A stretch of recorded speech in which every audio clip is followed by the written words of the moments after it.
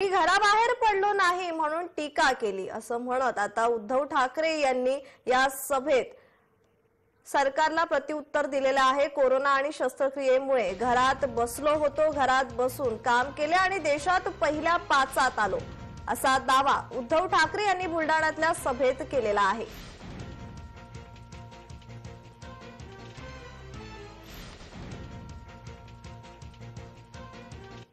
अरे मला सांगत होते की हा मुख्यमंत्री घराबाहेरच पडत नाही.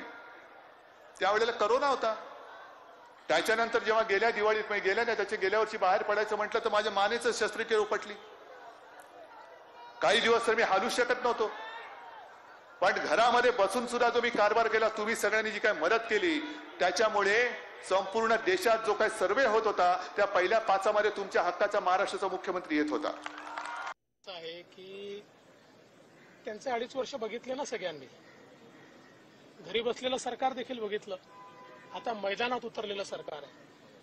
आणि मी दाव्यानं सांगतो की त्यांच्या काळाच्या दोन पट तीन पट रोजगार निर्मिती आम्ही सुरू करतो.